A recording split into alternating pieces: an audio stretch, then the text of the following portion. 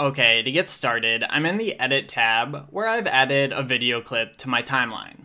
First, let's say you want to delete something in the middle of your clip by cutting it out. To do this, move the playhead to where you want to start cutting out the unwanted part of your clip. Then press the C key on your keyboard to make the cut. Next, move the playhead to where you want to finish cutting out your clip, and once more, press the C key to make another cut.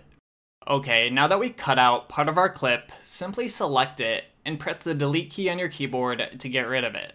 Deleting my clip left a gap here, so I'd have to drag my clips back together. Doing it this way works okay, but I'm going to undo this to show you how to skip dragging them back together. This time, with your clip selected, press the X key on your keyboard, which will not only delete your clip, but keep your other clips together. Alright, that's it for cutting, so next let's talk about trimming clips. To trim off the end of the last clip on your timeline, simply hover over the end of your clip so you see a bracket. Then drag its end to the left to trim off however much you want to get rid of.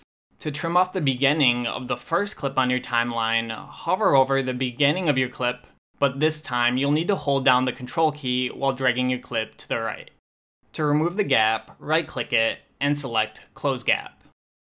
Next, let's say you want to trim off the end of a clip right before the cut. To do this, position your cursor over the end of the clip so you only see a single bracket. Then drag it to the left.